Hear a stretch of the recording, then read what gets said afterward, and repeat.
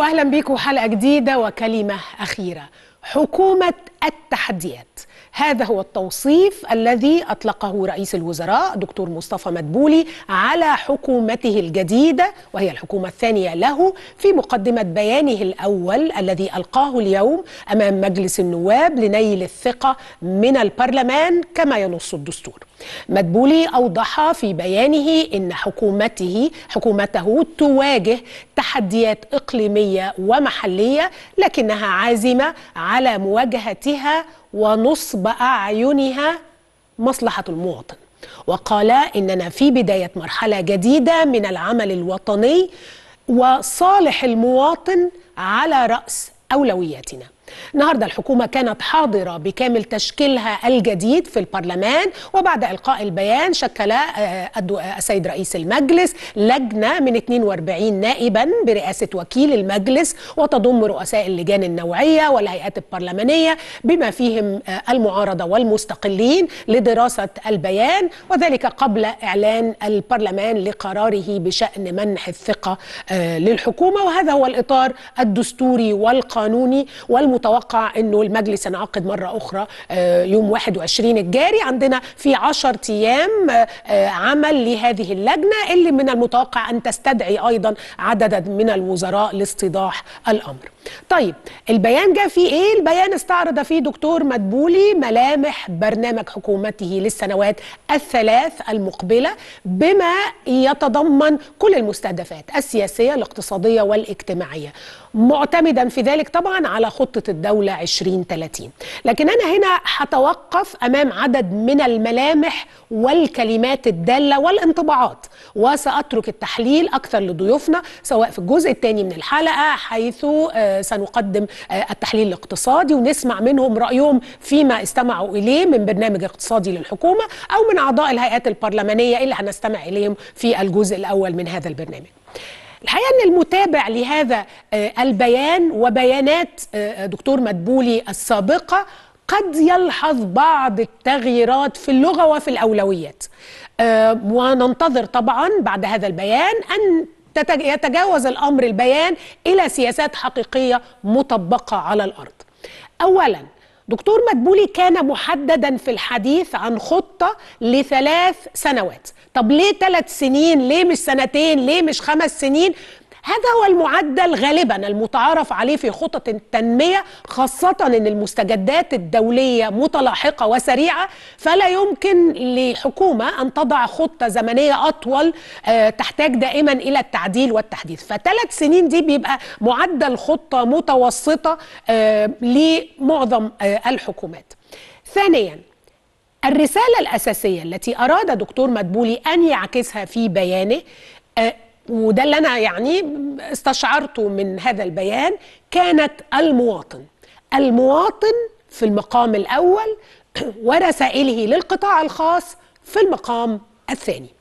للمواطن وقال وكرر كلام كتير جدا ربما بدءا من السطر الثالث تقريبا هدفنا تحسين أحوال المواطن نضع هموم المواطن في المقدمة. هموم المواطن هي شغلنا الشاغل. نسعى للتواصل ولتواصل وبناء إيجابي. صفحة جديدة بين الإدارات المحلية والمواطن. الحكومة ستعمل على حل مشاكل المواطنين. سنواجه بحزم أي تجاوزات من الجهاز من الجهاز الإداري. صالح المواطن على رأس أولوياتنا. الجمل دي جاءت متناثرة في ضمن خطاب رئيس الوزراء. ربما الجمل دي بالتركيز ده لم تكن موجودة من قبل في بيانات رئيس الحكومة. ويبدو أنه يريد أن يؤكد أن حكومته تضع المواطن وخدماته ومشكلاته في المقام الأول وإن المواطن هو أساس التحرك الاقتصادي وأيضا ننتظر أن نرى هذا مفعلا ومطبقا على الأرض. أول تعهدين يخص يخص يخصان المواطن كان إنهاء أزمة الكهرباء في النصف الأول من العام الأول لحكومته يعني بنتكلم في ست أشهر من دلوقتي. وهو كان أعلن قبل كده إنه أزمة الكهرباء ستنتهي نهاية هذا العام. البداية المفروض أن تكون بوقف الانقطاعات في الأسبوع الثالث من الشهر الجاري وننتظر ذلك أيضا. فأول تعهد كان الكهرباء. نهاية أزمة الكهرباء نهاية هذا العام. وخفض التضخم ومواجهة ارتفاع الأسعار. ودول أهم قضيتين الحقيقة بيواجهوا المواطن وأهم قضيتين بيشغل المواطن المصري حاليا. اقتصاديا و عن القطاع الخاص تحدث مدبولي عن تعهدات بتمكين القطاع الخاص بتحسين بيئة الأعمال بزيادة مساهمة الصناعة في الناتج القومي الإجمالي بمتابعة خطة الطروحات الحكومية وهي تعهدات مهمة والقطاع الخاص يعني منتظر أيضا تفعيلها. سمعها قبل كده ولكن هي دي التعهدات التي ينتظرها القطاع الخاص ويتمنى تفعيلها على الأرض.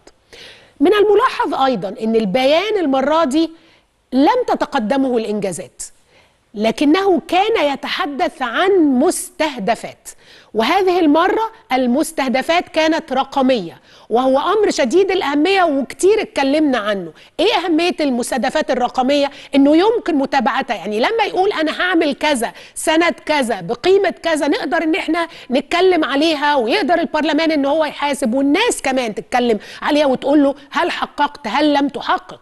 فالحقيقة إنه دكتور مدبولي تحدث عن مستهدفات رقمية في التصدير في النمو في القطاع الخاص.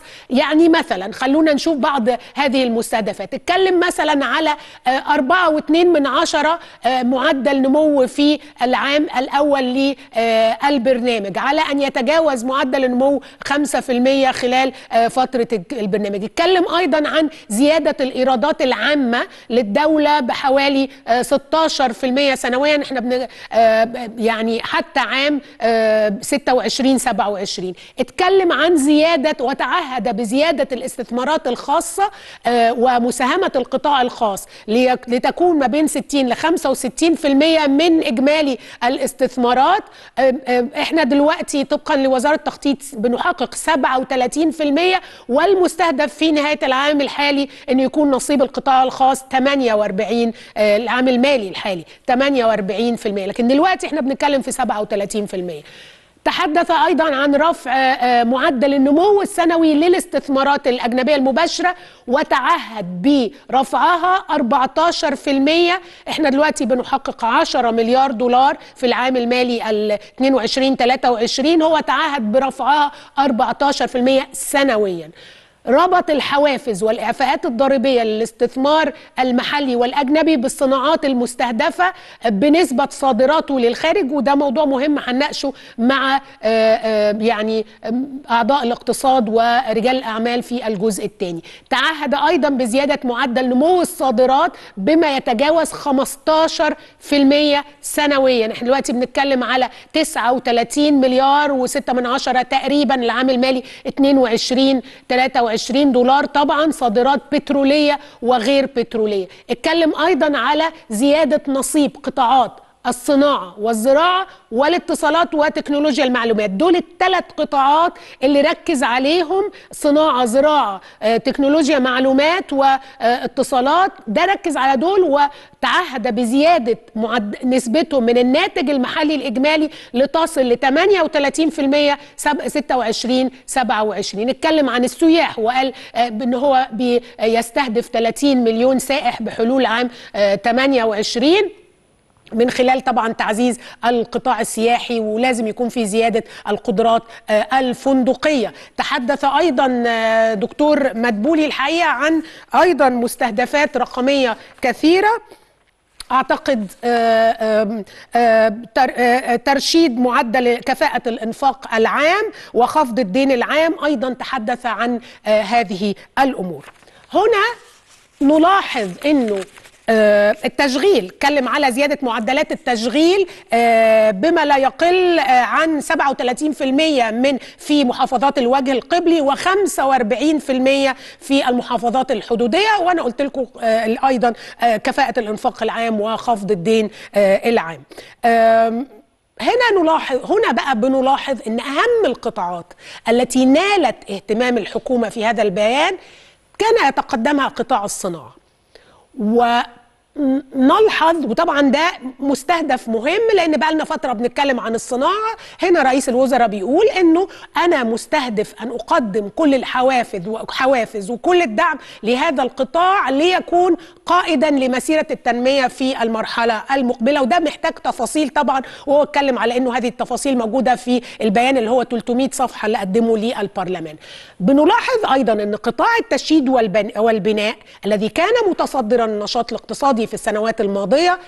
ترتيبه في أولويات حديث رئيس الوزراء ما أعرفش إذا كان هذا مقصود ولا غير مقصود بس أنا اعتبرته مقصود ربما. جاء الترتيب متاخرا بعض الشيء. صحيح إنه هو موجود لكنه لا يتقدم ترتيب أولويات الاقتصاد ولكن اقتصاد أولوياته صناعة زراعة واتصالات وتكنولوجيا معلومات.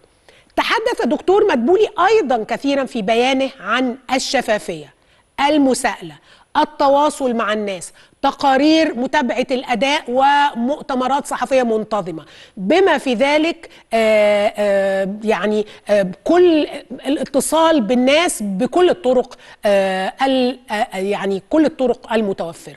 وربما الحقيقة إنه استشعر إنه الناس محتاجة يتسمع صوتها. وربما شعر الناس لفترة أن الحكومة لا تسمع أصواتها ولا تستجيب لمشكلتها. مدبولي هنا يقول للناس سنسمعكم سنستجيب لشكواكم. إحنا هنا هدفنا الأساسي هو صالح المواطن وهدفنا الأساسي هو تحسين حياة المواطن. كل هذا العمل الإصلاحي والاقتصادي عنده هدف واحد هو المواطن. أنا شايفة إن المواطن جاء في مقدمة اهتمامات أو في مقدمة لو بنتكلم على وزن نسبي لهذه الكلمة فالمواطن هو أهم ما جاء في كلمة أو بيان رئيس الحكومة الأول أمام البرلمان. وأخيرا فهذه الحكومة كما قلنا من قبل أمام اختيار صعب. اختيار اختبار صعب أمام الناس اختبار صعب أمام البرلمان واختبار صعب أيضا أمام الرئيس الذي كلفها. أمامها تحديات وقد أعلنت عن تعهدات واضحة وسيحاسبها الجميع. على هذه التعهدات التي اعلنها أعلنتها بوضوح بأرقام بتوقيتات فهي أمام اختبار صعب ليس فقط لنيل ثقة البرلمان ولكن أيضا لنيل ثقة الناس وتحسين أوضاعهم. نتمنى طبعا لها التوفيق في تحقيق رضا الناس. خلونا نشوف أبرز ما جاء في كلمة رئيس الوزراء. معا نبني مستقبلا مستداما. ونسعى من خلاله إلى العمل على أربعة محاور رئيسية. العمل على تحقيق الأمن القومي بمفهومه الشامل. تعزيز أمن البحر الأحمر وقناة السويس. فنستمر في تقديم برامج الحماية الاجتماعية وتوسيع نطاق تغطيتها. توسع في مظلة التأمين الصحي الشامل على مستوى المحافظات. إتاحة التعليم للجميع. إنشاء أكثر من 60 مدرسة فنية وتكنولوجية. حرص الحكومة. على زيادة فرص العمل وخفض معدل البطالة. التركيز على تطوير المناطق غير المخططة. توفير المسكن الملائم لمختلف شرائح الدخل. تحقيق معدل نمو يبلغ 4.2% زيادة الإيرادات العامة بنحو 16% في المتوسط سنويا. خفض إجمالي الدين العام. رفع معدل النمو السنوي للاستثمارات الأجنبية المباشرة. إلى نحو 14% زيادة معدل نمو الصادرات بما يتجاوز 15% سنويا. وتستمر الحكومة في بذل جهودها لتحقيق هدف جذب 30 مليون سائح بحلول عام 2028 بناء نحو 500 ألف وحدة سكنية بديلة للمناطق غير المخططة. تفعيل تعديلات قانون التصالح في مخالفات البناء العمل على سرعة إصدار قانون المجالس الشعبية المحلية وسرعة إجراء انتخاباتها فتح قنوات حوار فعالة مع جميع الأطياف والفئات المجتمعية. تعزيز حقوق الإنسان من خلال الاهتمام بالفئات الأولى بالرعاية. كل الإنجازات التي تتم على هذه الأرض هي إنجازات الشعب المصري. هي إنجازات الشعب المصري وتستهدف المواطن معنا على الهاتف دكتور عبد الهادي القصبي زعيم الأغلبية في مجلس النواب سيادة النائب مساء الخير. يعني كيف استمعت إلى كلمة رئيس الوزراء؟ هل وجدت فيها الأغلبية ما تنتظره؟ مساء الخير أستاذ منيس واهلا بالسادة المشاهدين. ربما كما تفضلت سيادتك جلسه هامة للغاية بدأت بتلاوة السيد رئيس المجلس لكتاب فخامة السيد الرئيس الوارد إليه بخصوص تكليف الحكومة وتشكيل الحكومة ثم بدأ الدكتور مصطفى مقبولي في الحقيقة في استعراض أهم ملامح البرنامج الحكومي خلال ثلاث سنوات قادمة. طبعا من المهم جدا يا أستاذ انيس إن إحنا نوضح أن بيان الحكومة ربما ورد إلى المجلس في 300 صفحة كاملة لكن الدكتور مصطفى استعرض أهم المحاور الأساسية في هذا البرنامج. بدأ الدكتور مصطفى الحقيقة بتوجيه الشكر للحكومة القديمة ثم يعني أوضح للجميع استيعاب الحكومة أن هناك تحديات ضخمة جدا وأطلق على حكومته حكومة التحديات. وبالفعل يعني من يتابع التحديات الإقليمية والعالمية تحديات ضخمة جدا وأثرت تماما على المواطن المصري في الفترة الأخيرة وضغوط اقتصادية. وبالتالي الدكتور مصطفى أطلق على حكومته حكومة التحديات. طبعا استعرض الحقيقة الخطوط الأساسية وإنه اعتمد على رؤية مصر 2030 وعلى توصيات الحوار الوطني وتعهد أمام النواب ببذل أقصى جهد ممكن لمواجهة المشكلات العاجلة وفي مقدمة هذه المشكلات الغلاء والتضخم وانقطاع التيار الكهربي ثم تحدث عن العلاقات الثنائية العربية والدوليه واشار أيضا إلى تكامل الدولة والقطاع الخاص والمجتمع المدني والمواطنين في مواجهه في مواجهة الأزمات ربما أشار أيضا لنقطة بتهم جميع المصريين وهي أمن مصر المائي ودي نقطة الحقيقة برضه بتشغل المفكرين والسياسيين والحزبيين. وبالتالي يعني وجدنا تناول القطاع الصحي والقطاع التعليمي طب أنا و... أنا عايزة أسألك كنائب بقى كنائب وليس فقط زعيما للأغلبية كنائب لك علاقة بالناس في الشارع بالدوائر في الشارع هناك مطالب للناس. نعم. أنتوا هيكون دوركم إيه في الفترة المقبلة ل طبعا هناك دور مهم للبرلمان سواء في التشريع أو في الرقابة. باستخدام. أدواتكم الرقابية. الآن رئيس الوزراء تعهد أمامكم وأمام الناس بمستهدفات معينة بتحقيق أمور معينة. أنتوا هل ستستخدم الأغلبية أدواتها الرقابية لمتابعه الأداء ومساءلة الحكومة؟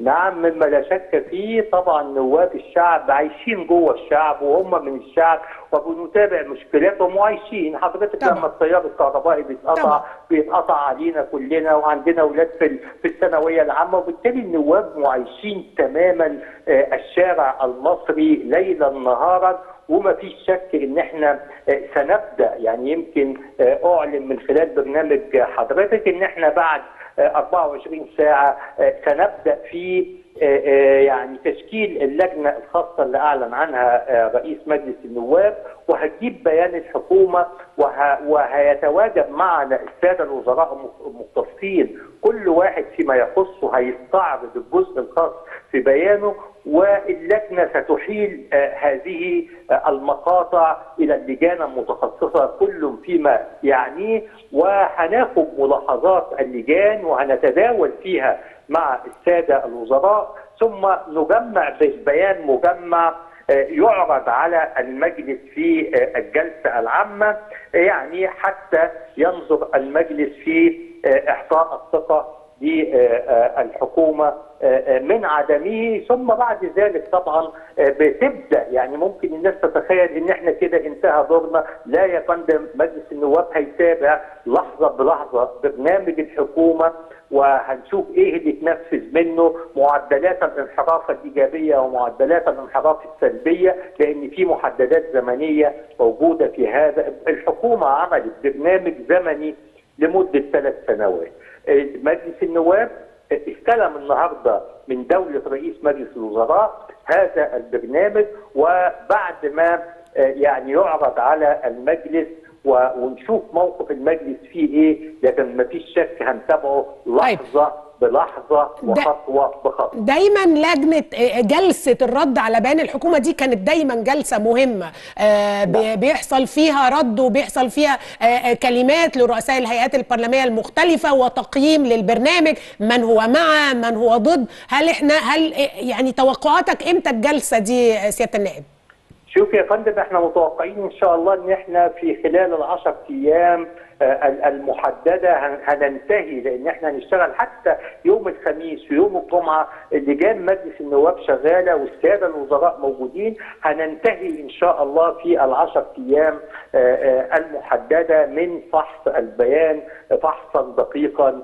ويعني نطلع بيان مجمل للمجلس إن شاء الله. أخيرا أخيرا مطالبكم إيه؟ أنتوا كأغلبية. وأنا هنا ما بتكلمش بس كأغلبية برلمانية وسياسية أيضا ولكن بتكلم هنا ك ك كنواب لكم علاقة بالناس. إيه أهم؟ لو حددت مثلا ثلاث مطالب لكم من الحكومة القادمة خلال السنوات المقبلة. المطلب الأول والأخير تلبية احتياجات المواطن المصري المعلومة للجميع المعلومة للسياسيين والحزبيين والحكومة وللنواب.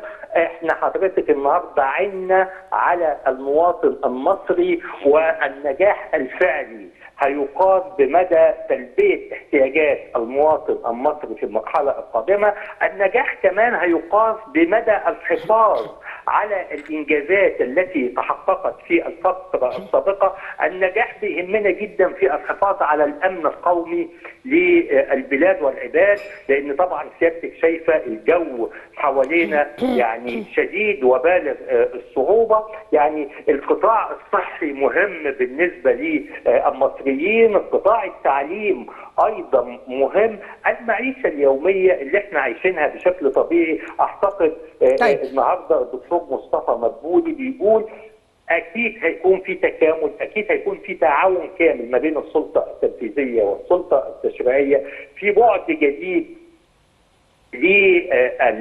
لتحسين معدلات النمو الاقتصادي والناتج القومي. يعني حضرتك لما كنا بنتحدث في مشكلة كل المصريين استشعروها اللي هي انقطاع التيار طيب. الكهربي وجدنا إن إحنا محتاجين مليار و800 مليون دولار عشان نحل هذه المشكلة وبالتالي البعد الاقتصادي بيهمنا إن إحنا ننهض طيب. لكن حتى نستطيع أن نلبي احتياجات المواطن صحيح المواطن. لكن أنا هعود وأؤكد فيه على سؤالي السابق الاغلبيه ستستخدم ادواتها الرقابية لمساءلة ومراقبة تنفيذ الحكومة لما تعهدت به أم أنها ستكون يعني مؤيدة لها على طول الخط؟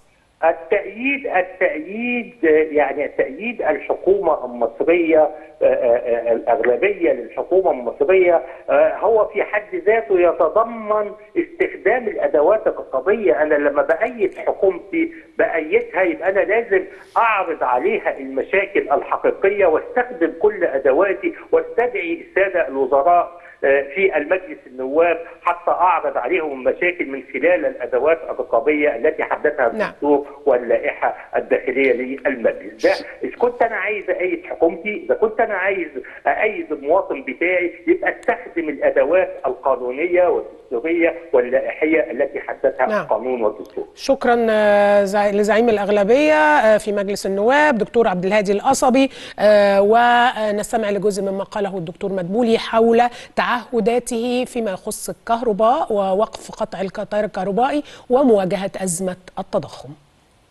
لمسنا جميعا معاناة المواطنين من مشكلة انقطاع الكهرباء وأعاهدكم أن تعمل الحكومة بكل عزم وإصرار على القضاء على هذه المشكلة نهائيا خلال نصف العام الأول من برنامجنا. كما لمسنا معاناة المواطنين من ارتفاع الأسعار وبذلنا جهودا كبيرة لضبط الأسواق وسارعنا بضخ المزيد من الكميات من السلع لضمان توافرها. وقد أسفرت تلك الجهود عن تراجع معدلات التضخم في الشهرين الآخرين ونستهدف مزيدا من التراجع خلال الفترة المقبلة. نذهب إلى المعارضة والنائب عاطف مغاوري رئيس الهيئة البرلمانية لحزب التجمع. سيادة النائب كيف استمعت لبيان الحكومة؟ هل أنت راضي عما قدمه رئيس الوزراء من تعهدات؟ يعني هو بالتأكيد إحنا لازم نتفائل ونعطي الفرصة لكن هو بالنسبة لنا يعني الأسماء ما تهمناش إحنا محتاجين سياسات. البيان إنشائي تمنيات خالي من الإجراءات العملية وإن كان عوضها بأنه وعد إنه هيودع لدى المجلس وثيقة من 300 صفحة تتضمن تفاصيل. لكن بشكل عام أنا يعني وأنا بستمع للبيان رجعت للوراء الزمن فلقيت البيان الذي ألقاه يعني الدكتور مصطفى مدبولي رئيس الوزراء على مجلسنا في دور الانعقاد الأول 21 يعني تقريبا هو واحد في التشابه في الصياغات والتمنيات لكن إحنا هننتظر يعني اولا هذه الحكومة تأتي على خطة اجتماعية اقتصادية ووجهها المالي موازنة 24 25 التي وضعها الحكومة الراحلة والتي أقرها المجلس في شهر 6 يعني معنى ذلك إنها جاءت على لأن أي خطة وأي عمل أي عمل هيكون له ترجمة مالية. هو وعد بأن في مدارس وفي صحة وفي كذا وفي كذا وفي كذا. ما علاقة ذلك بالخطة الاجتماعية الاقتصادية ووجهها المالي 24 25 الموازنة العامة. ده مفروض مهم أن يكون هناك ترابط وليس جزر منعزلة ونبدأ في كل مرحلة من الصفر. يعني المفروض يبقى في شكل تراكمي. هذه الحكومة جاءت على موازنة وارتباطات مالية التي بدأت تنفيذها من واحد سبعة الحالي. معنى ذلك أن المال هي لم تضعه وفقا لطموحاتها وتطلعاتها. طبعا هذه قضايا كثيرة وأنا أتوقع أن أنتم أيضا تثيروها كنواب تحت قبة المجلس طوال الفترة المقبلة عموما عموما يوم الناس يوم عايزة تسمعكم كمان تحت قبة آه المجلس يوم الأربعاء سيأتي الوزراء كل في مجاله أمام اللجنة ليدلي بدله نعم. أيضا نعم. في التفاصيل هذا نعم. الأمر سيكون محل نقاش وحوار نعم. أما اللجنة ستبدأ أعمالها الرسمية بدون حضور الحكومة من يوم الخميس يوم ال... متصلة نعم. في انعقاد دائم شكرا. سيادة النائب عاطف مغاوري رئيس هيئة البرلمانيه لحزب التجمع هيكون عضو أيضا لجنة نقاش بيان الحكومة. الدستور بيقول إنه الحكومة يجب أن تنال الثقة من البرلمان بعد أن تناقش بيانها. خلونا نسمع هذا الجزء من رسالة دكتور مدبولي للمواطن. يعني مع احترامي لكل الآراء التي قيلت أنا لما سمعت الخطاب شعرت إنه في فعلا اهتمام بالمواطن ربما لم يكن موجود بنفس القدر في في في الوقت اللي فات ونتمنى أن نرى هذا الاهتمام مفعلا على الأرض لأن كل اللي عايزينه الناس أن تتحسن أحوالهم. نشوف هذا الجزء من كلام دكتور مدبولي. إنني أود أن أبعث من خلال مجلسكم الموقر رسالة اطمئنان إلى إلى أبناء مصر الأعداء. مؤكدا على عدد من الأمور الهامة التي يجب أن نضعها معا نصب أعيننا ونحن نكمل المسيرة في المستقبل. إن مصر قادرة وتمتلك من الثروات الطبيعية والبشرية ومن الإمكانيات ما يجعلها قادرة على أن تكمل مسيرتها في المستقبل بكل ثقة واطمئنان. إننا نشهد اليوم بداية مرحلة جديدة من العمل الوطني. نؤكد فيها التزامنا بتحقيق ما تعاهدنا عليه ونسير بخطى واثقة لتحقيق مستهدفات برنامج عملنا في المدى الزمني المحدد. مستندين إلى نهج تنموي مستدام يلبي احتياجات الحاضر ومتطلبات المستقبل. إذا هذه تعهدات الحكومة الجديدة أمام البرلمان وأمام الناس. ننتظر تحقيقها ننتظر تفعيلها. ونتمنى لهم التوفيق. هذه حكومة التحديات وهي أمام اختبار صعب. نخرج فاصل ونرجع نواصل هذه الأخبار.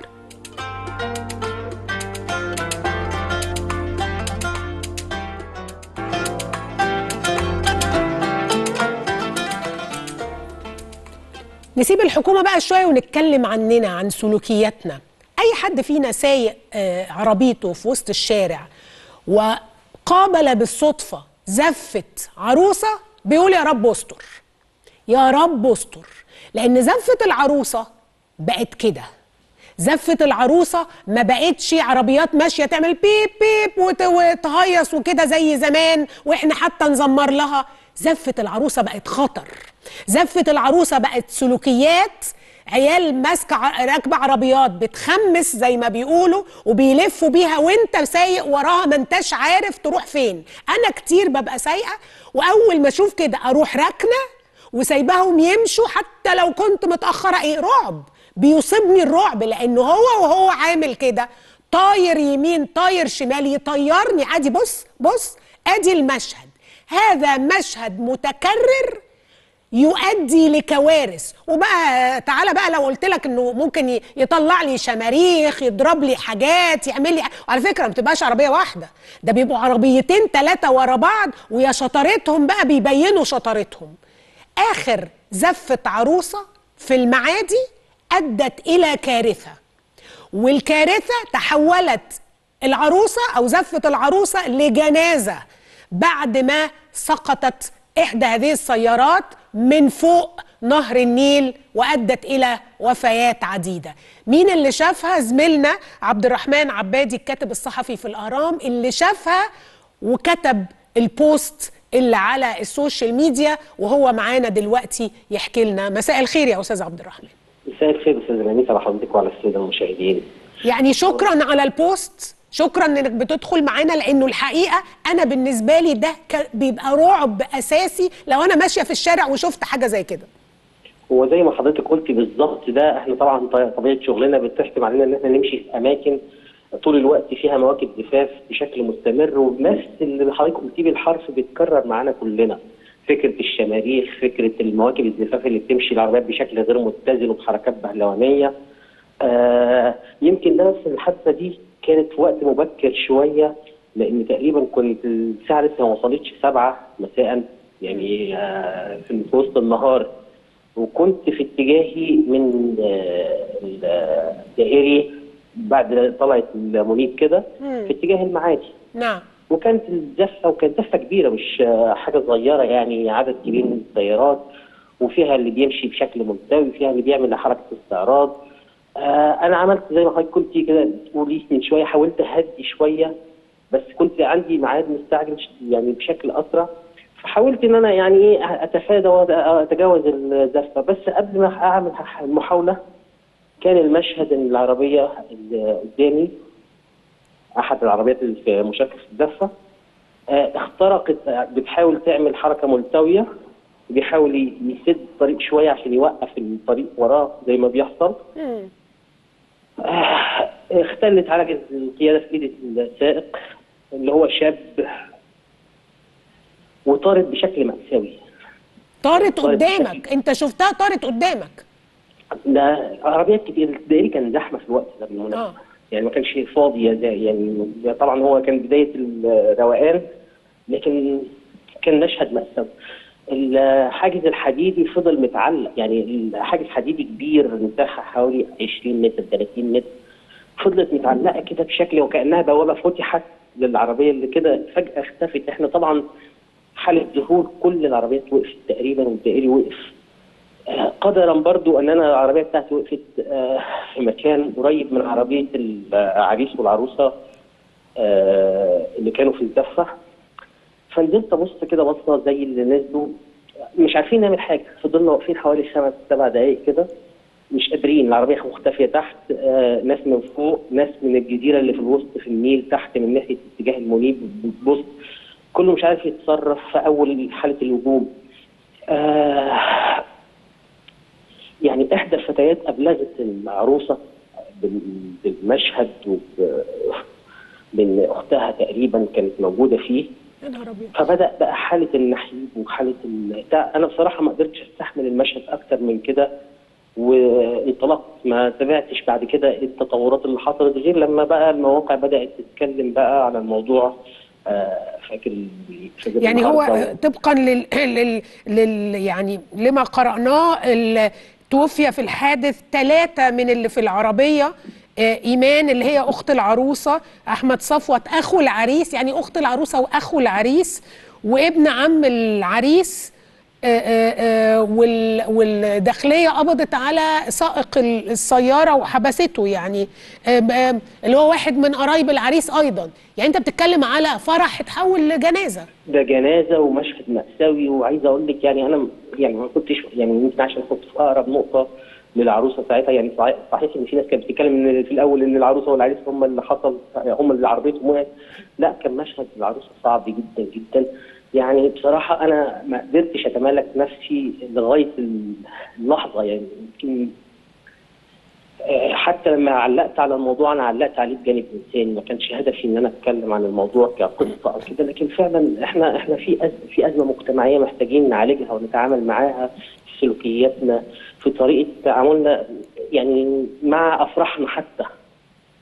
وزي ما حضرتك قلتي القصة قصة سلوكيات. هو قدر هو قدر ربنا في الأول وفي الآخر. يعني حتى طريقة العربية وهي بتصير يعني مع مين متخيل المشهد إن حاجز حديد تخ- تخترقت رصيف عالي وطلعت آه، قفزت عليه. أنا شفت مشهد قبل كده العربية فوق كوبري الجامعة بس ما كانش بالطريقة المأساويه اللي شفتها دي بس بس صحيح هو طب كل واحد له عمر وقدر وكل شيء لكن السلوكيات يا أستاذ عبد الرحمن ال- المشهد طبعاً، ده طبعاً، مشهد طبعاً، مرعب. طبعاً، أنا لما طبعاً. بشوف عر...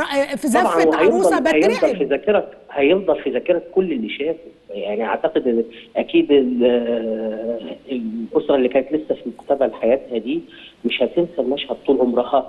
آه، الأطفال اللي كانوا موجودين برفقه الزفه آه، كل اللي كانوا شايفين أكيد المشهد هيفضل مأثر في ناس كتير جدا جدا. وأكيد إحنا زي ما حضرتك قلتي بيتكرر المشهد ده بشكل مستمر يمكن هي يمكن عشان خاطر المكان اللي حصلت فيه الواقعة آه، حيوي شوية. ففي ضوء عليها كتير. لكن إحنا عندنا حالات زي كده بتحصل في القرى وبتحصل مش هو ده الفرح. وأنا ليه آه، أفرح بأذية الناس؟ وأنا ليه آه، أفرح آه، آه. بتعطيل وحضرتك قلتي الطريق؟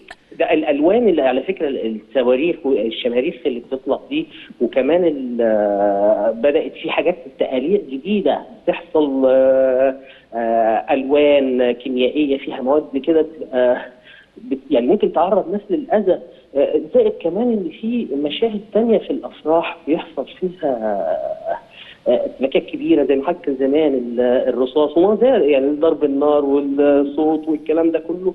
يعني للأسف إحنا بنتعامل مع أفراحنا بشكل بشكل مضر زي ما لا يراعي. الآخرين. إحنا عندنا يعني في حالة كده لا تراعي ما بنفكرش كيف نراعي الآخرين. بنفكر إن أنا غير- غير هعرف أمسك. العربية غير- وأقدر. ليه؟ ده غلط. ده ده ده لازم عايز أقول لحضرتك ان إن الت- الت- التخنيس بالعربيه بالطريقة الامريكيه الأمريكان اللي بيعملوها دي أنا شو شفت يعني في أحد في أحد الزفات اللي كنت رايحها بشكل شخصي آه، بيغيروا كاوتشات العربية الأربعة بكاوتشات مستعملة علشان ما يهلكش عربيته وفي نفس الوقت عشان يعمل الحركة. وده بيعرض نفسه لخطورة أكبر. طبعا.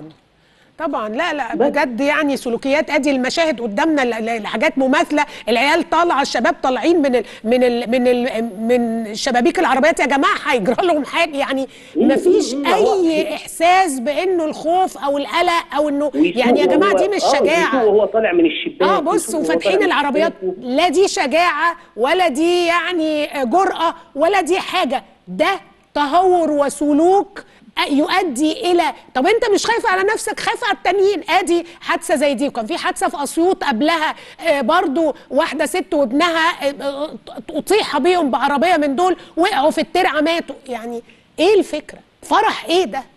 السلوكيات السلوكيات السلوكيات. شكرا يا أستاذ عبد الرحمن إنك برضو كتبت البوست ده. أتمنى إن المشهد ده طبعا بالقانون كده السواق ده هيتحبس. يعني بالقانون اللي هو أقل مادة إن هو تعطيل ال- ال- الطريق العام وحركة المرور. دي أقل مادة اللي هيتحبس بيها ثلاث أشهر. لكن بما انه هو وأودى بإنه في ناس ماتت فأنا هنا دخلت في القتل الخطأ دخلت في السنة بقى.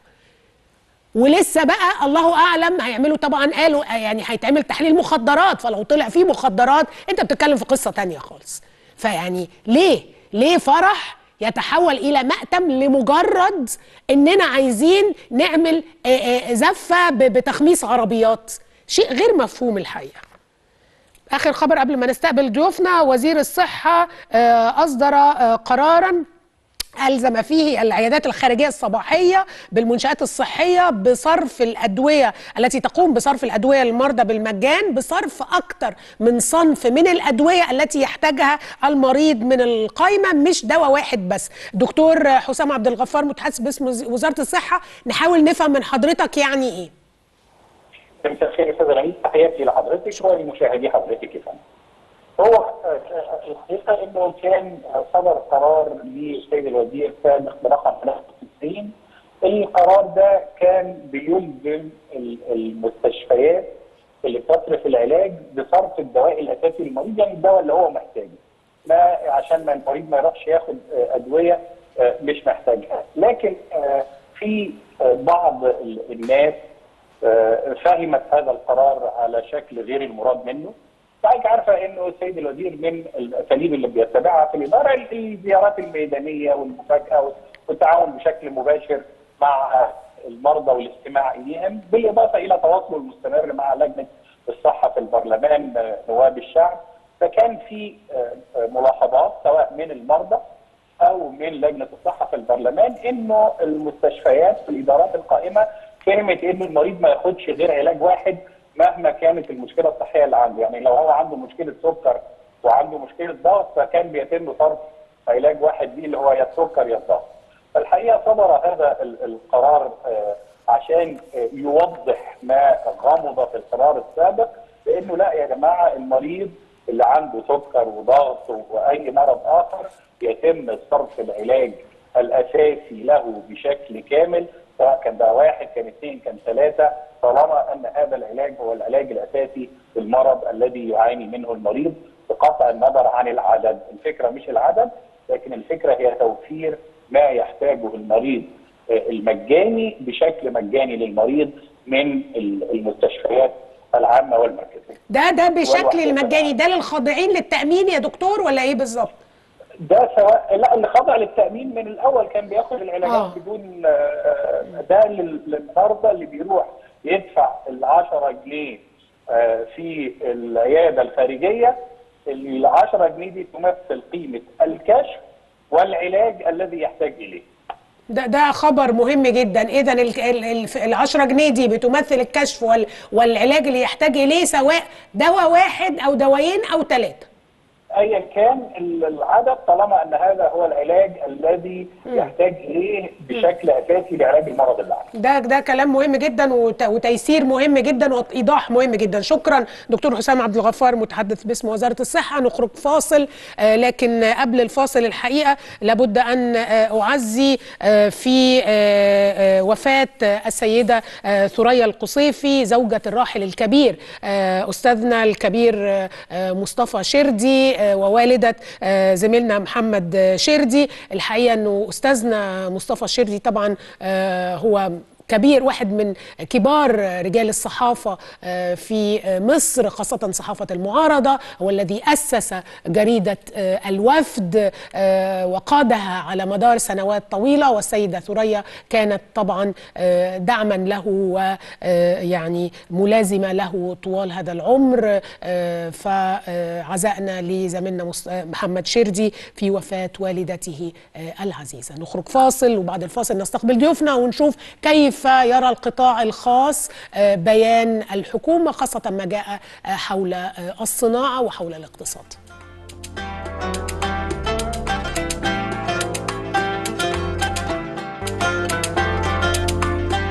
ونؤكد حرصنا الدائم على زيادة مشاركة القطاع الخاص في الاقتصاد المصري.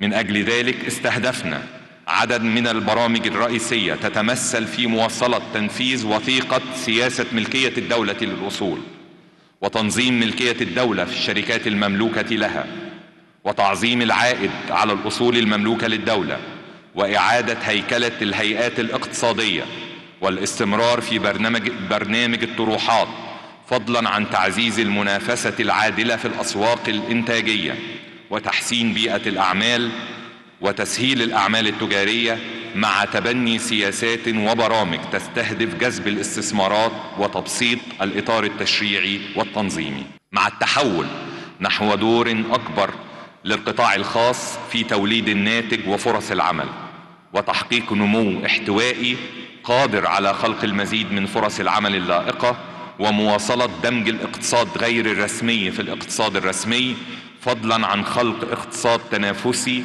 قائم على المعرفة ومنع الممارسات الاحتكارية. آه، كيف استمع القطاع الخاص لبيان الحكومة؟ آه، يمكن مشاكل القطاع الخاص لا تختلف من حكومة سابقة لحكومة حالية. هي نفس المشاكل. إحنا عملنا تقريبا ال round table دي عدة مرات فاهمين عارفين أهمية الصناعة عارفين أن الفترة الجاية يجب أن تكون الصناعة في هي قاطرة ال ال الاقتصاد. قلنا الكلام ده كثيرا. نعود ونستمع بقى إلى ممثلين للقطاع الخاص والصناعيين بشكل أساسي. كيف استمعوا؟ ماذا يريدون من هذه الحكومة؟ أعتقد إن إحنا ما بقاش عندنا عندنا رفاهية الوقت. ما بقاش عندنا رفاهية إن إحنا تاني نغلط ونصلح ونغلط ونصلح. خلاص لابد أن ننفذ والخطط معروفة والحلول معروفة للجميع. اسمحوا لي أن أرحب بضيوفي أستاذ محمد البهي عضو مجلس إدارة اتحاد الصناعات دكتور شريف الجبلي رئيس غرفة الصناعات الكيماوية باتحاد الصناعات والأستاذ أحمد الجندي مدير عام شركة هاير آه، مصر. آه، آه، أهلا بيكم يا سادة. أستاذ بهي سمعت يعني إيه اللي اهتميت بيه في في بيان؟ إيه اللي جذب انتباهك في بيان دكتور مدبولي النهارده؟ الحقيقة يعني بداية اولا بشكر حضرتك على الدعوة الكريمة شكراً. وأعتقد إن إحنا كلنا أصحاب مصلحة في هذا الوطن طبعاً. لما بيحصل شيء إيجابي كلنا بنحيي هذا التوجه وأنا بعتقد إن يعني ما يوجه به رئيس الجمهورية وحضرتك قلتي إن هناك قناعة من القيادة السياسية بالصناعة وهو حق لأن هي قاطرة تقدم كل الدول أنا بعتقد إن ما حدث في الفترة الأخيرة وتولي الفريق طبعا كامل الوزير وزارة الصناعة ده أمر مهم جدا لأن هذا الرجل جاء طبقا حتى لتوصياتنا كلنا أن يأتي رجل لديه إنجازات ملموسة في قطاع ما وهو أدى ما عليه طبعا في وما زال طبعا في وزارة النقل وتطوير المواني والطرق يعني أشياء كثيرة جدا نقدر نقول أنها يعني تجعل هذا الرجل في عندنا نحن كصناع يعني في مقام مه- مهم جدا خاصة ان الفترة اللي فاتت ما كانش فيه يعني عمل الحقيقة يعني أو تواصل مع القطاع الصناعي حتى من الوزارات المعنية بهذا الملف. أنا شايف إن هذا الرجل من اليوم الأول دخل التنمية الصناعية وطبعا خد قرارات تتعلق بالرخص اللي هي مشكلة المشاكل في الصناعة وعدم إدراك الحكومة للأسف في فيما قبل قيمة الوقت. أنا بعتقد ده مهم جدا أن يحصل الصانع على رخصة ويبدأ العمل من اليوم الأول دون انتظار أو دون أن تمنحه التنمية الصناعية رخصة وتأتي جهة أخرى لتغلق المصنع بدعوة أو بأخرى يعني. طيب نسمع كمان رأي دكتور شريف الجبلي، إيه ال- ال- اللي جذب انتباهك في بيان الحكومة النهارده؟ وحسيت إن هو ربما يكون مؤشر للتغيير ربما. يعني شكرا لحضرتك. عشان الصوت بس شوية. بس هقول لحضرتك حاجة. هو طبعا البيان طبعا في حاجات منه كانت موجودة قبل كده. جذب استثمارات حاجات موجودة. آه، دور القطاع الخاص زيادة دور القطاع الخاص الفترة الجاية. آه، التصدير آه، يعني الصناعة. الصناعة طبعا. يعني كل دي حاجات كانت موجودة يعني أو تم الحديث عنها كثيرا يعني. فأتمنى المرة دي تبقى فيها يعني زي ما زميلي آه، أستاذ محمد البهي قال يعني امبارح مثلا وزير الصناعة الوزير كامل الوزير قعد مع اتحاد الصناعات وال- مع مجلس إدارة الاتحاد والغرف الصناعية رؤساء الغرف الصناعية ودي بادره ممتازة بعد ثلاث أيام من تولي الوزارة ما كانتش تحصل قبل كده يعني. واجتمع لجميع اللي كانوا موجودين حوالي كانوا فوق حوالي 35 واحد موجودين قعد ثلاث أربع ساعات يسمع لكل واحد. ودي طبعا حاجة إيجابية متوقع إنها تعمل طفرة في الصناعة الفترة الجاية. ليه؟ لأن في حاجات كتير كانت قرارات بيروقراطية كانت بتعطل كتير حاجات كتير. أعتقد هو هيقدر يشيل هذه القرار يعني حي... يتغلب على هذه الصعاب اللي هي يعني بت... يعني إحنا عندنا ساعات حاجات صغيرة جدا بتعطل حاجات كبيرة جدا. ودي موجودة يعني وكلنا عارفينها واتكلمنا عنها كتير. يجي واحد بقى صاحب قرار وبيقدر ينفذ وبينجز وكده طبعا دي في صالح الصناعة. لما يسمع للصناعيين كلهم بمختلف تخصصاتهم دي حاجة جيدة جدا ما كانتش موجودة برضه. بالطريقة دي اللي هيقعد مع كل غرفة بعد كده صناعية زي ما قال يشوف خططها وإيه رؤيتها وعاوزين ينجزوا إيه وكده دي حاجة برضه جيدة جدا. أنا هقعد مع كل غرفة على حدة. يناقش بقى بالتفصيل كل صناعة صناعة المواد البناء صناعة الكيماوية صناعة الأدوية كل الصناعات دي. فطبعا دي بت- بتشجع بتدي يعني أكيد كان الروح اللي موجودة كانت روح إيجابية. ودي حاجة كانت مطلوبة الفترة دي.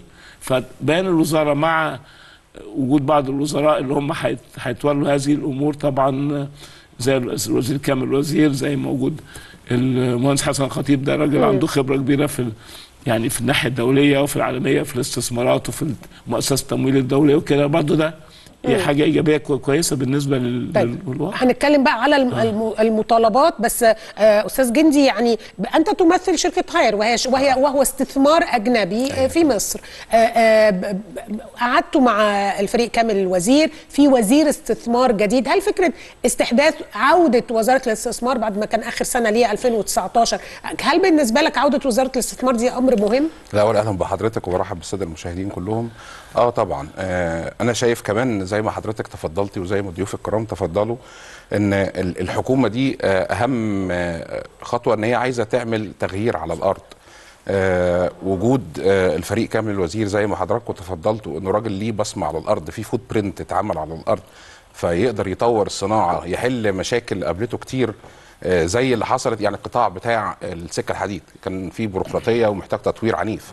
ففي footprint الحاجة الثانية زي ما بقول لحضرتك آه، موضوع إن إحنا آه، الصناعة في مصر محتاجة في خلال ثلاث سنين آه، تساهم بنسبة 65% من النمو الاقتصادي للبلد لا هو ما قالش صناعه هو قال القطاع, القطاع. الخاص آه. آه، آه، من 60 ل 65% من الاستثمارات من الاستثمارات آه صح ده صح. مش النمو اللي أيوه في فرق بالظبط. من آه، حجم. الاستثمارات صح ده صح. بقى ده بقى تحقيقه يعني أنا بشوف ده طموح جدا هل ده ممكن التحقيق آه، ممكن آه، وفي حاجات آه، صغيرة تتعمل تسرع وتيره؟ الصناعة.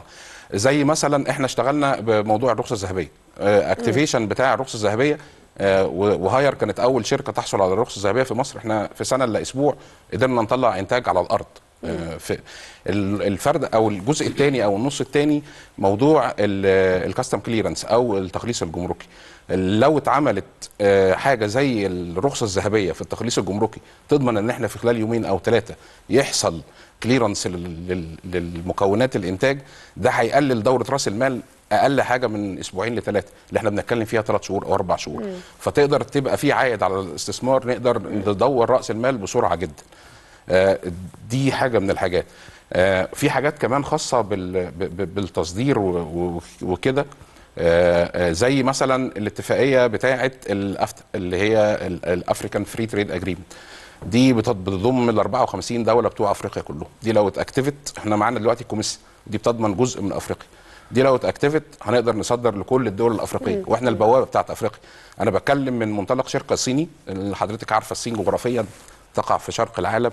فوجودها هنا في مصر ده بوابة لأفريقيا كلها نقدر نصدر ونقدر طيب عشان أوصل بال بال 38 يعني رئيس الوزراء اتكلم على إنه عايز قطاعات الصناعة والزراعة وتكنولوجيا المعلومات والاتصالات توصل ل 38% من الناتج المحلي الإجمالي 26 27 برضو ده رقم طموح جدا. يعني أنا بشوفه رقم كبير ضخم جدا. لكن أجي بقى لل- للصناعة. الصناعة بقى عايزة إيه؟ لو بالظبط كده. وأنا عارفة إن إحنا قلنا الكلام ده قبل كده. أرض رخص ضرائب بيروقراطية آه، قاتلة بتقتلنا.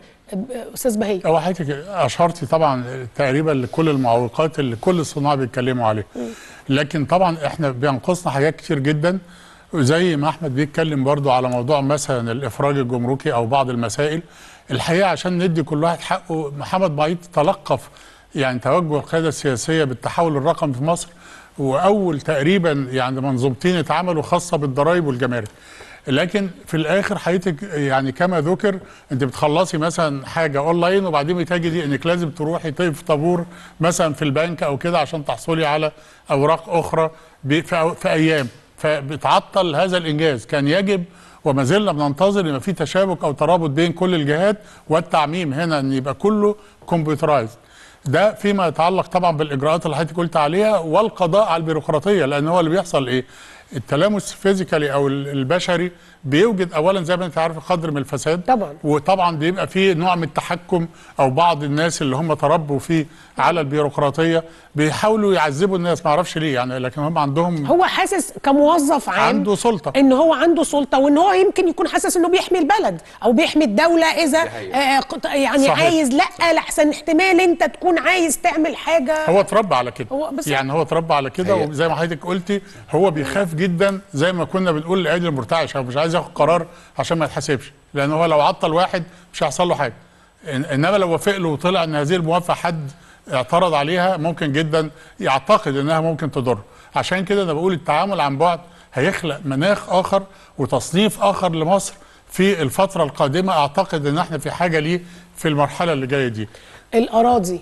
للصناعة. ودي برضو قضية حيوية. على فكرة للصناعة والسياحة. أنا لسه كنت بتكلم مع بعض رجال السياحة. فكانوا بيتكلموا على فكرة إنشاء مش مستهدفين 200 ألف فوق غرفة فندقية في كذا. فقالوا طب هنعملها إزاي؟ هو ما فيش أرض. ال- ما بين التنمية الصناعية وبين الهيئة العامة للاستثمارات ال- ال- ال- الصناعة أو تاخدوا. منين؟ هو دي طبعا دي, دي. المشكلة الأساسية طبعا موضوع الأراضي ده والولاية على الأراضي. آه، بالظبط. على فكرة هيئه التنميه الصناعيه ولايتها على الأراضي قليلة جدا بالنسبة لهيئه المجتمعات العمرانية بالنسبة للمحافظات. فعندك المحافظات عندها هيئة المجتمعات العمرانية عندها وبعدين هيئة التنمية الصناعية. المفروض هيئة التنمية الصناعية تبقى هي الأساس بالنسبة للصناعة. لما تيجي تكلمي بقى الكلام الصح. المفروض هي اللي تبقى عندها الولاية على كل الأراضي الصناعية. لأن هي دي اللي بتدي رخص في الآخر. هي دي المفروض النهارده أي مشكلة بتبقى عن طريق هيئة التنمية الصناعيه يعني النهارده ما حدش يقدر يدخل في أي مصنع سواء من البيئة أو من آه، دفاع عنه أي حاجة إلا عن طريق هيئة التنمية الصناعية. ده المفروض أنت قانون. دلوقتي حضرتك لو رايح تفتح مصنع جديد أيوة. هتروح لمين؟ حسب قبل بقى ما بقى- بعيدا عن فكرة ال- الفريق كامل الوزير. هتروح لمين عشان تاخد أرض؟ هتروح ل- يا إما هتروح هيئة التنمية الصناعية يا إما هتروح هيئة المجتمعات العمرانية يا إما هتروح محافظات. في المحافظات بتاعت وده ياخد. منك إيه بقى؟ حسب أنت بقى حسب, حسب جهة الولاية. حسب جهة الولاية. ما دي نقطة مشكلة. الحاجة الثانية دلوقتي هو قال امبارح الفريق قال إن آه، الأرض هديها بالتكلفة بتاعتها بالظبط تكلفة البنية الاساسيه بتاعتها هدي هدي الأرض. عشان لأن طبعا تكلفة الأرض في مصر غالية الصناعية جدا بالنسبة لأي بلد في العالم. فالنهاردة هو قال لأ أنا هشوف التكلفة وحد مش هحسب بقى يعني بحيث في الآخر ما انت ترجع الصناعة في الآخر. طبعا. أنا هقول لحضرتك حاجة أنا كنت في المغرب الأسبوع اللي فات المغرب بتعمل إيه النهارده؟ ودي بقى مش, مش دايما نقول المغرب وبتاع. بيدي 30% منحة لأي مشروع صناعي. 30% 30% من منحة. منحة يعني إيه؟ يعني بيدي فلوس بب... بدي فلوس من لا البنك؟ ترد. آه فلوس من لا الدولة. ترد؟ من الدولة. من الدولة. من الدولة. والمغرب. ليست دولة غنية. معلش بس هو عشان كده فتح في صناعة جامد. ما هو كانش عنده صناعة عنده. سيارات عنده سيارات عنده قطع غيار غيار عنده طيارات. آه. بيصنع قطع غيار طائرات بيغ... بس أنا مد- دي أنا ما كنتش قالوا لي قلت لهم متأكدين؟ قالوا لي 30% منحه للم- أي مشروع مشروع ب 100 جنيه 30 جنيه هاخدهم من الحكومة. بس مقاعد قواعد معينة نشغل مشروع خلال كام سنة والكلام ده كله. مش قادر تقعد بقى يدوا له أرض وتقعد. فدي حاجة الحاجة اللي المفروض نشتغل عليها في مصر هي حق الانتفاع لأن دي هتوفر كتير جدا في التكلفة الاستثمارية في الصناعة. لأن ما في الأرض 6000 جنيه في المتر في بعض 6000 آه بس حق الانتفاع ده ما بيخليكش ما بيخليكش تملك الأرض هي يعني دي- حتى هي دي مشكلة. يعني هي كده عاوزة تشريع. تاخد لون تشريع، عليه عاوزة مش تشريع. كده؟ عاوزة تشريع. عاوزه تشريع من مجلس النواب إن عشان البنوك ما بتعترفش بيها ان ده بالظبط. آه، كولاتر أو أصل. أصل، ما تقدرش. تاخد عليه ما قرض. تقدرش تاخد عليه قرض. بس لازم يتعمل لأن ده فعلا هي- هيدي طفرة لأن هيوفر عليها كتير جدا في التكلفة الاستثمارية. في في التكلفة لما أخد مثلا 30 40 ألف متر. طبعا تفرق جامد جدا لما أخدهم حق انتفاع 50 سنة أو 90 سنة هتوفر جامد جدا. دي من النقاط اللي لازم برضه نركز عليها. حاجات اللي هي تسرع بالصناعة في المرحلة الجاية. من الحاجات اللي رئيس وزراء قالها بم- بما إنه ب- آه، آه، دكتور جبل يتكلم على تجربة المغرب إنه قال مثلا هنربط الحوافز الاستثمارية والإعفاءات الضريبية لل- للاستثمار المحلي والأجنبي بالأنشطة الصناعية المستهدفة ونسبة الصادرات.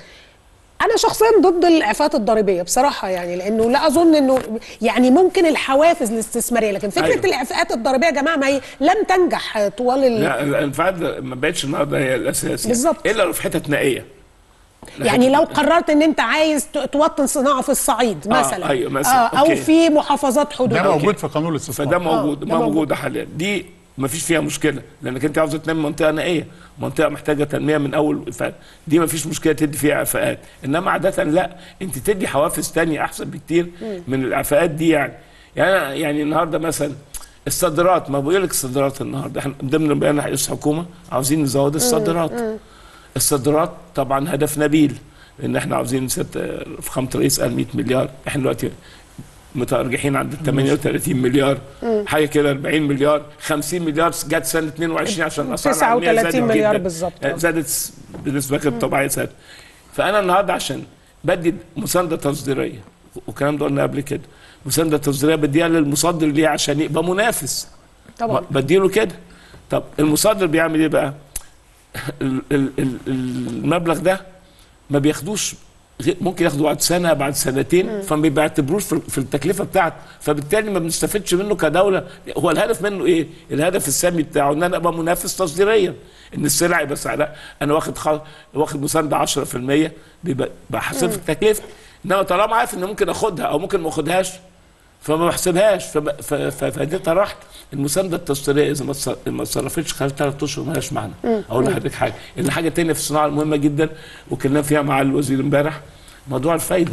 30% النهارده. مستحيلة. مستحيل آه بس هو دلوقتي عنده سياسة نقدية إن هو آه، يعني آه، يريد أن عايز هتقولي التضخم؟ آه. ما أنت لازم توصلي حل وسط بين الاثنين يا عندك تنمية وعاوزة تضخم ما انت برضه لما هتعملي تنمية هتشغلي ناس هتشغل ناس، فهت- تزيد الدخول. هت- هتزيد الدخول طيب. فانت لازم يبقى عندك تعادلي بين حاجتين يعني فإنما ما فيش صناعه ده الفايدة ال- ال- يمكن أستاذ جندي طب الفايدة ال- اللي هي معقولة لل- للصانع للصناعة لكي يستطيع إن هو آه، يجيب يعني آه، آه، يعمل أنا مش يعني. معلش أنا آسف أنا مش شايف موضوع ال... ال... من وجهة نظري الشخصية موضوع الفايدة أو أو قصة زي كده لأن إحنا بحكم تواجدنا في مصر إحنا FDI 100% ولم نكلف الدولة أي يعني أعباء تدبير آه، دولاري دي حالة آه. أيوه.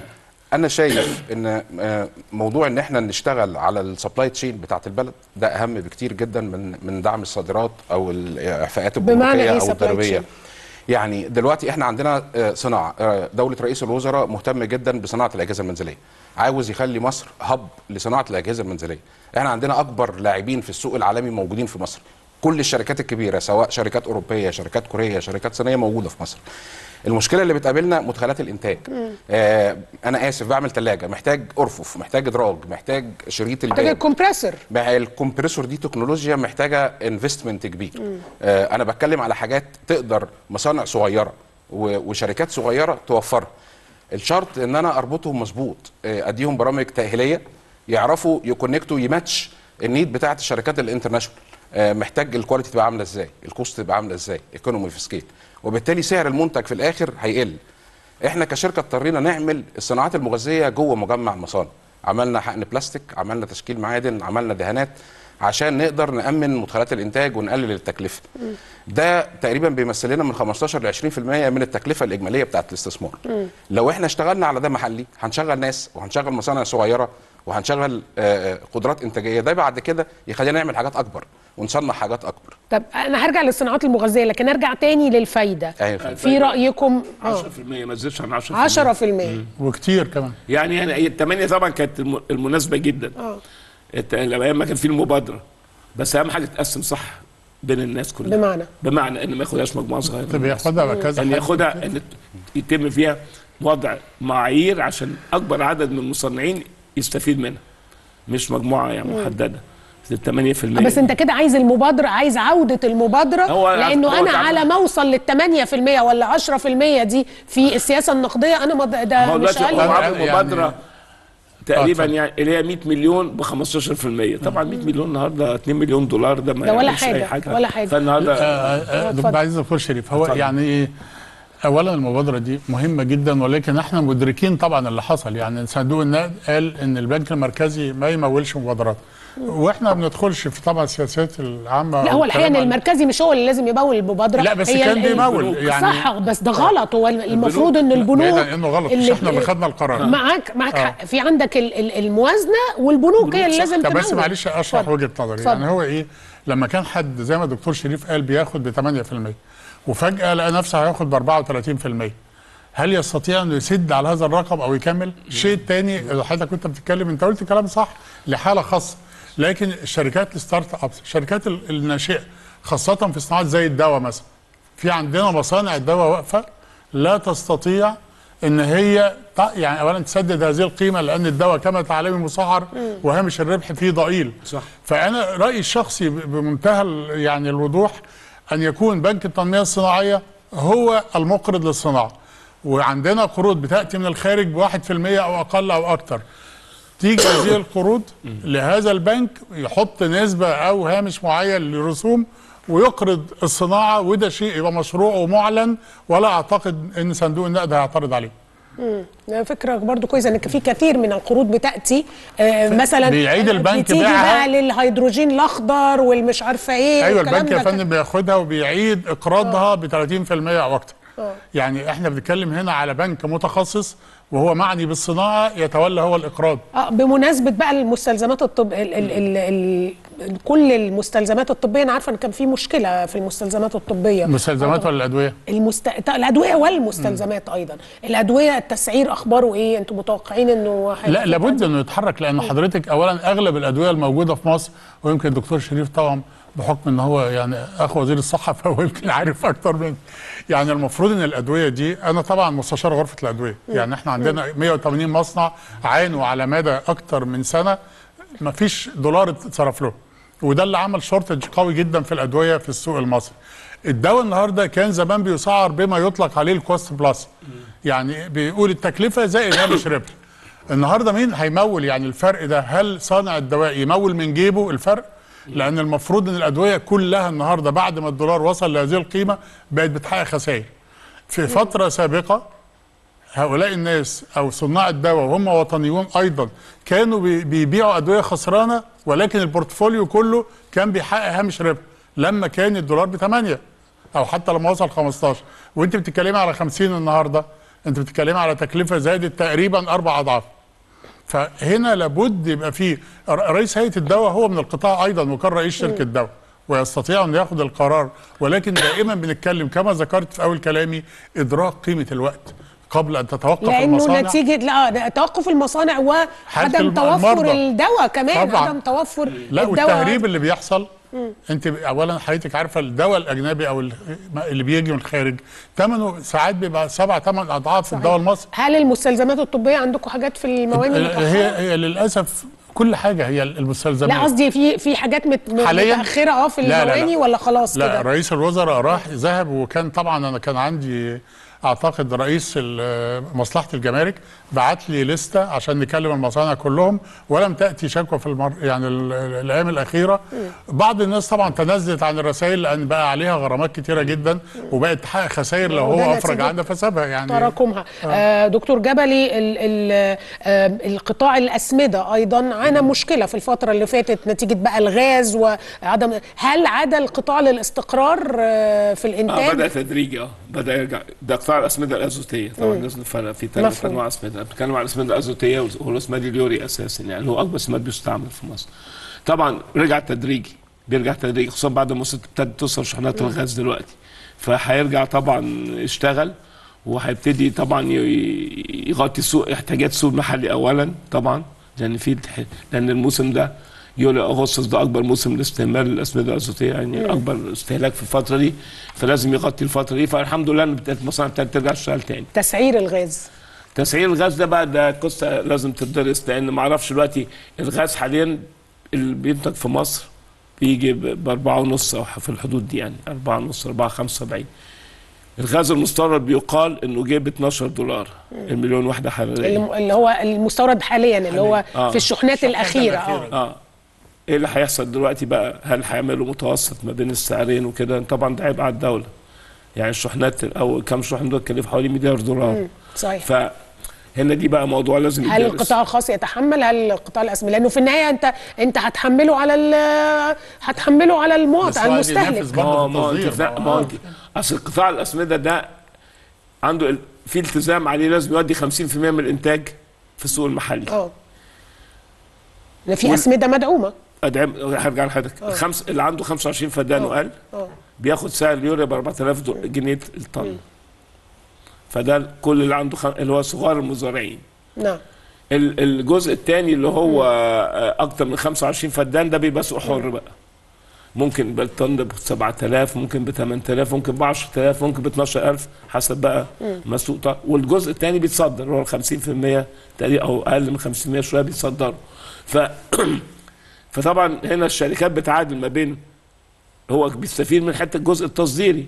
وجزء إنما الجزء اللي بيبيعه لل 25 فده بيخسر فيه. ما مش ما بيجيبلوش تكلفته. فدي برضه نقطة تانية.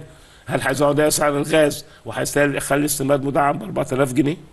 ده ما ده برضه احتمال يحرك كمان يعمل تحريك كل ده بكلم. لازم يدرس طيب آه، معنا على الهاتف دكتور عمرو حسنين من كندا. دكتور عمرو حسنين رئيس مجلس إدارة شركة مارس للتصنيف الائتماني. دكتور عمرو دايما كان عندك تفكير فيما يتعلق بالجهاز الإداري وبالحماية الموظف العام وإنه الجهاز البيروقراطي آه، قد يكون أكبر معوق لانطلاق الصناعة وانطلاق الاستثمار عموما. في كلمة رئيس الوزراء هل وجدت أي مؤشرات مختلفة آه، أهلا بيك يا أستاذ انيس وبضيوفك الكرام وبالسادة المشاهدين.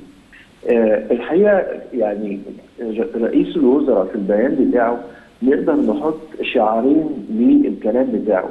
أول شعار أنا بقول المواطن اولا وتاني شعار هو تنفيذ البرامج، التنفيذ ثم التنفيذ ثم التنفيذ.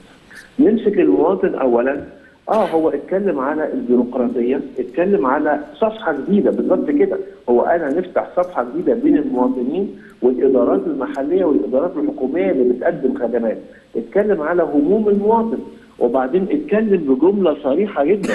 قال سنواجه بكل حزم أي تجاوز من جانب الجهاز الإداري أثناء أداء الخدمات للمواطنين. فاذا هناك وعي كامل وإدراك كامل وإحساس كامل بإنه فعلا لازم المواطن يستريح ولازم المواطن يلاقي الخدمة بس طبعا زي ما حضرتك عارفة ال- الجهاز الإداري ده عبارة عن إيه؟ هو هناك عقد اجتماعي بين الدولة ممثلة في الجهاز الإداري المدني بتاعها وبين المواطن ال- العقد ده منطقه إيه؟ إنه الدولة بتقول الجهاز الإداري بيقول للمواطن يا مواطن أنت بتدفع الضرائب بتاعتك بتدفع الخدمات بتدفع ثمن الخدمات وأنا قصاد كده بقدم لك الخدمة فالعقد ده لازم يبقى متوازن ولازم ينفذ. طيب عشان ينفذ لازم طرفي العقد يكونوا مؤهلين وممكنين من أداء مهمتهم. الجهاز الإداري الحقيقة الحقيقة يعني يعني لا محتاج إنه يبقى ممكن ومؤمن ومؤهل لأداء مهمته. إزاي يبقى مؤمن؟ الموظف العام قبل ما احاسبه أنا محتاج إن أنا أمكنه. قبل ما احاسبه قبل ما يبقى في ملاحقات إدارية قبل ما في مساءلات بالنسبة له لازم أمكنه. أمكنه إزاي؟ يبقى في حاجة بتحميه وبتحمي القرار بتاعه ولازم يبقى متأكد إنه طالما أنه لم يرتكب عمل مؤسم أو يأتي بعمل مؤسم فهو في أمن وأمان في القرار اللي بياخده. ما فيش حاجة بقى تلاحقه لا شكاوي كيدية ولا ملاحقات إدارية ولا مساءلات ولا كلام من ده. بعد لما نعمل له الكلام ده وده إحنا كنا اتكلمنا قبل كده أنا أذكر لو حضرتك تتذكري نعم. من من فترة طويلة قانون حماية الموظف العام بعد لما أأمنه وأمكنه أبتدي بقى أحاسبه محاسبة سليمة ونبتدي نحط الجملة الجميلة اللي قالها رئيس الوزراء سنواجه بكل حزم أي آه، تجاوز ماشي بكل حزم ده إزاي. معلش يا دكتور عمرو ما هو أنت أصلا آه، يعني آه، هترفده يعني ولا هل هتعاقب المعوق؟ يعني اللي بيحصل إيه؟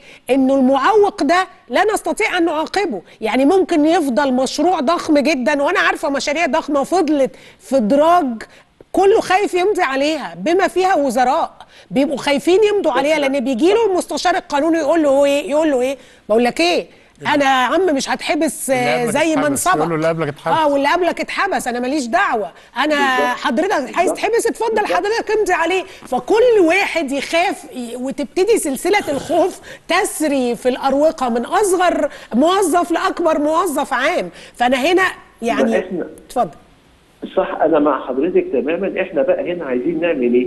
عايزين نشيل نشيل تماما السيف بتاع اتحبس دي عايزين نشيل السيف ده السيف المسلط على رقاب آه إزاي. تفرق بقى بين إن هو.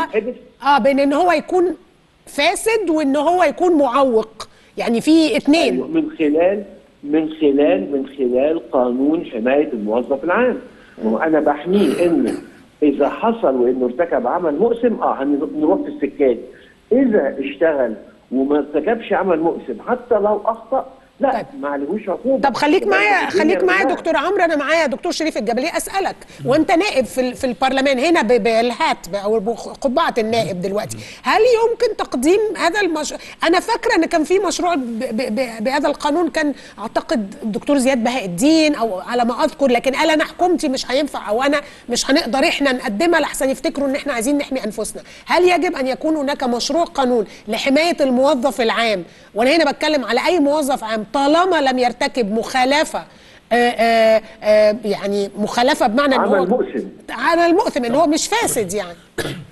طبعا أكيد ده المفروض يبقى موجود يعني لو ما فيش في أي حاجة لو الحكومة قدمت مشروع زي ده للمجلس وتناقش. أكيد هيوافق هي- يعني هيتوافق عليه لأنه ده جزء من القضاء على البيروقراطية والخوف وكده.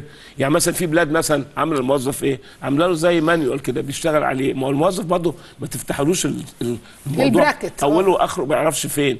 انك تدي له صلاحيات غير طبيعية. لا الموظف ده له واحد اثنين ثلاثة أربعة خمسة ده ضمن الإصلاح الإداري.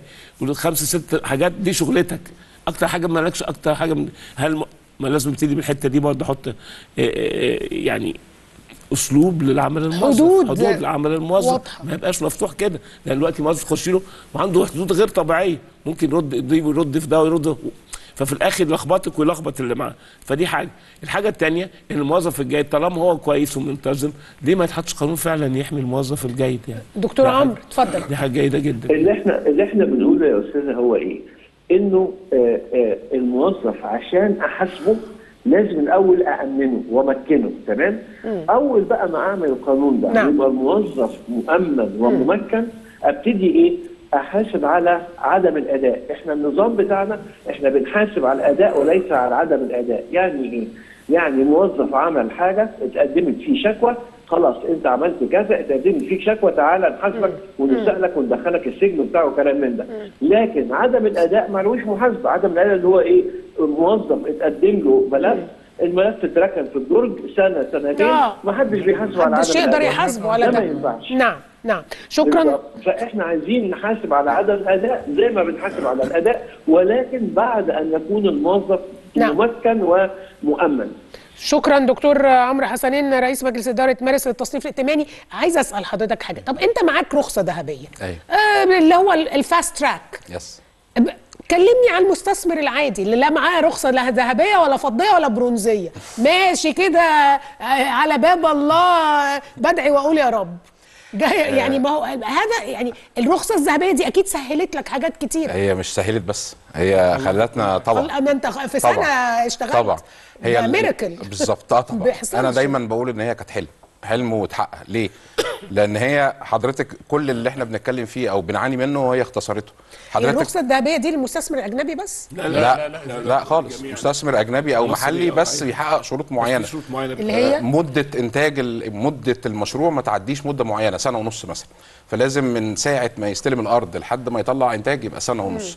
لازم المشروع يبقى بيقدم تكنولوجي جديدة حاجة ما يعني هيضيف إضافة للصناعة. يعني. في مصر. تمام. هل الرخصة الذهبية دي هي الطريق الوحيد دلوقتي ولا إحنا عايزين؟ لا هو في سؤال أهم. آه. هو ليه مش كلهم ذهبية؟ بالظبط. يعني هي ورقة أنا كنت لسه هقول كده ان ليه إحنا مش لازم ليه مش نوسع هو ده طبعا الطريق الطبيعي لازم. نوسع موضوع الرخصة الذهبية وأنا أنا شايف ده اتجاه لا يعني أنا. شايفة إن هو ما ياخدش رخصة ذهبية إنه يكون الطريق كلها. هو هو كذلك صحيح طبعاً. يعني هذا هو الطريق الذي يجب أن يكون طبعاً. مش بقى ندي رخصة ذهبية إلا لو كنت مثلا مصدر طبعا فانا شايف ده فترة انتقالية يعني ما هو برضو من إن أنا أتنقل من بيروقراطية تامه ل- لحاجات بتاخد وقت طويل أو كده نعم. يبقى في filtering عن طريق هيئة الاستثمار أو وزارة هو دايما الاستثمار ده لويس برضه بحيث- يتعلق بال informal sector يعني هي القضية هنا إيه؟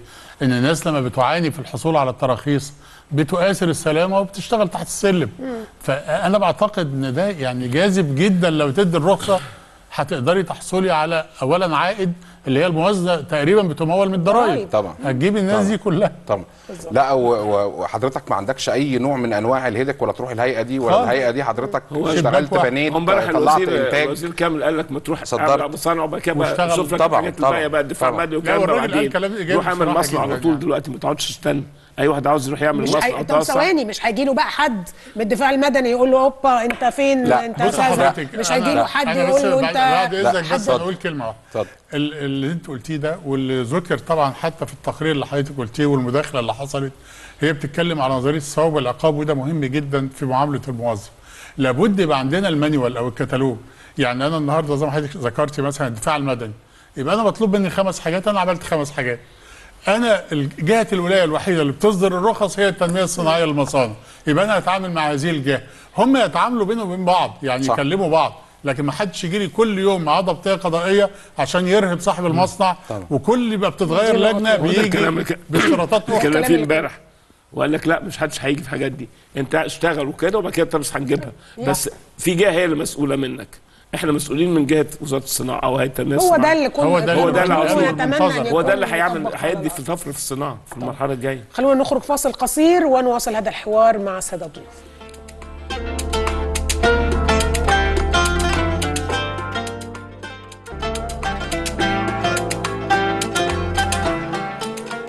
يعني الدقائق الأخيرة من حوارنا مع السادة وأعتقد أنه حوار الحقيقة مفيد جدا. أنا شخصيا استفدت منه رغم أن أنا يعني بعقد هذه الندوات كثيرا. بس اقطع حضرتك؟ اتفضل. يعني اولا حضرتك بتتكلمي في الاقتصاد يمكن أحسن من أي حد تاني. أشكرك. أنا بتعلم. منكم يا أساتذة. والله العظيم يعني بجد دايما. والله إحنا بنحيي أصدقاء في أولاً المقام الأول. أشكرك. يعني. أشكرك.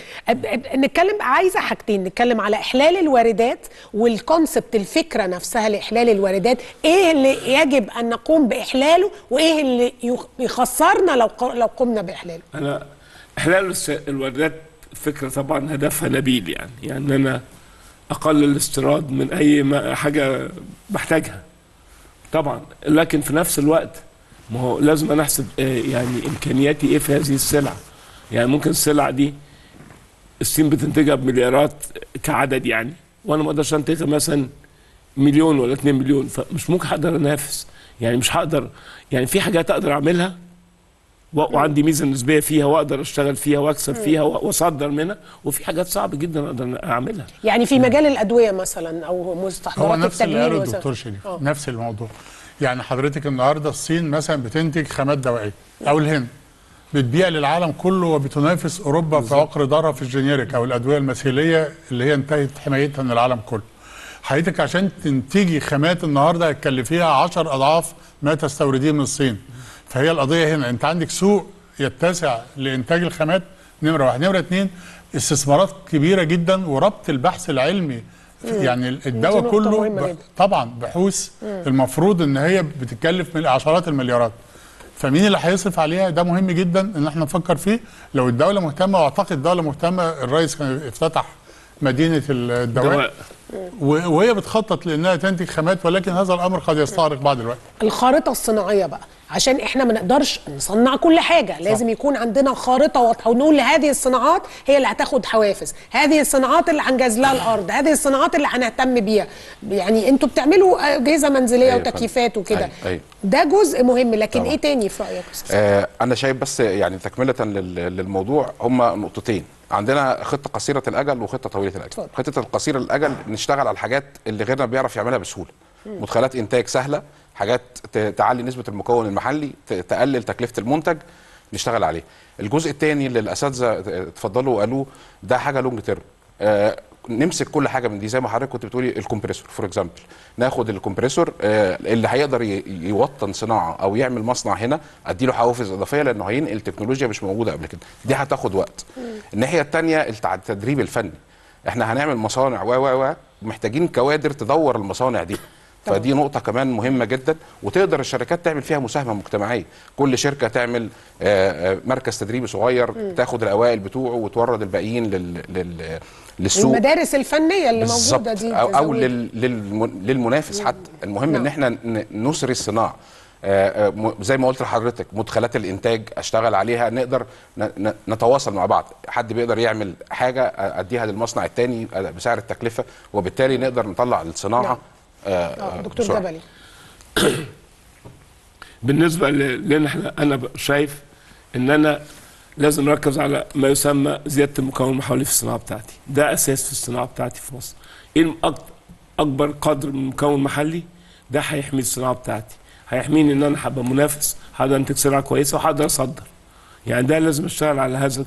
وأنا في الصناعة بتاعتنا بقى الكيماوية خلينا مثلا ناخدها كمثال لانها من أهم الصناعات الموجودة في مصر.